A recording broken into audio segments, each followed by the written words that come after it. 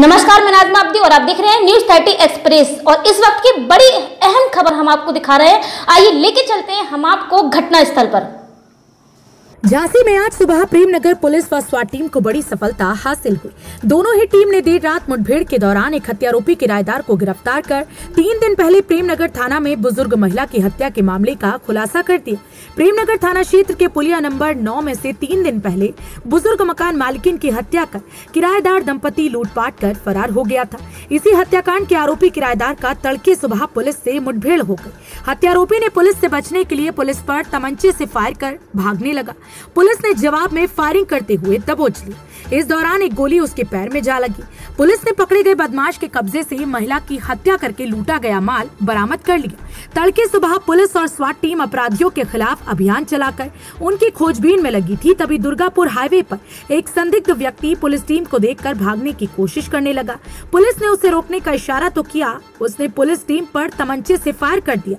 Police team ने अपना बचाव करते हुए फायरिंग की, जिसमें गोली बदमाश के पैर में जा लगी, जिसमें वो घायल हो गए। पुलिस ने उसे हिरासत में लेकर उपचार के लिए मेडिकल कॉलेज भिजवा दिया है। पुलिस के मुताबिक मुठभेड़ में पकड़ा गया बदमाश सुनील शर्मा है, जिसने प्रेमनगर थाना क्षेत्र के पुलिया नंबर नौ, रेलगंज में महिला की हत्या कर करीब 20 लाख रुपए की लूटपाट की थी। पुलिस ने उसके कब्जे से लूटा हुआ माल बरामद कर लिया है।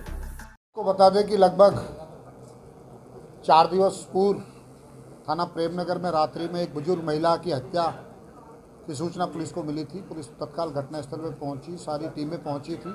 उसमें हालाँकि अपराधी ने काफ़ी शातिर तरीके से बिना किसी वेरिफिकेशन के वहाँ पे कमरा ले लिया था और जो मृतका थी, उसकी पुत्री का कहना था कि उनके किराएदारों ने उसकी हत्या करी है। पुलिस ने इन्वेस्टिगेशन प्रारंभ करी। उसमें कई तथ्य पुलिस के सामने आए। जाँच पड़ताल हुई। उसमें एक महत्वपूर्ण क्लू कचरे में पड़ा हुआ एक डब्बा मिला था। उस डब्बे के माध्यम से पुलिस अपराधियों तक पहुँची इन्वेस्टिगेशन करी। रात्रि में हमें सूचना प्राप्त हुई कि जो चार दिन पूर्व बुज़ुर्ग महिला की हत्या जिस व्यक्ति ने करी है, वो हो सकता है कि यहाँ आया हो। तो पुलिस ने घेराबंदी करी, रोक, टोक करी, पूछताछ करी तो उसने फायर किया।